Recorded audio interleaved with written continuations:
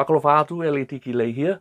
I just wanted to let you know that there has been a bit of an outbreak on some horrific predatory scams going on. They are targeting Pasifika, targeting a little bit of Maori people as well, uh, but it's very much targeting Pasifika mostly and also within the South Auckland area.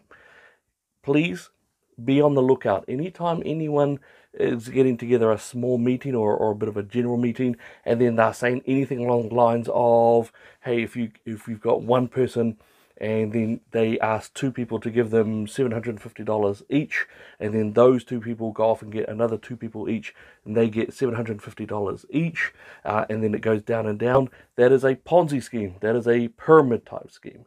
It is absolutely illegal and it scams our people because it gives the impression that somehow people are going to get some sort of money out of it. Now, be aware that they'll use words such as gifting.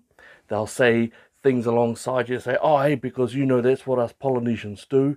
We gift, we gift. So they'll keep on pumping those words. Uh, they'll also talk about God and they'll talk about the ideas, even linking into Fa'alavelave or any other type of cultural gifting sort of methodology.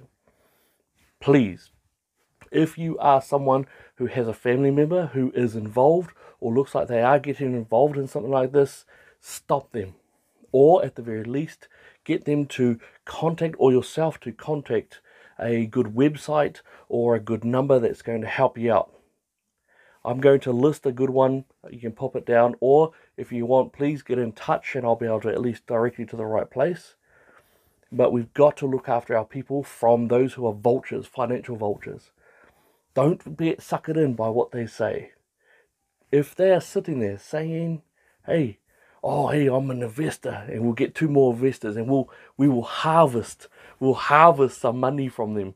Uh, and then we'll we'll have gifting methods and oh we'll do it every week we'll do something like the 21 day challenge or something like that don't believe them get help get assistance at least talk with your aiga your family or get in touch with someone who you can trust, who can tell you, yeah, that is a scam or it's not. Look after yourselves, look after each other, and we'll see you soon. Whaamanuia i le atua i loa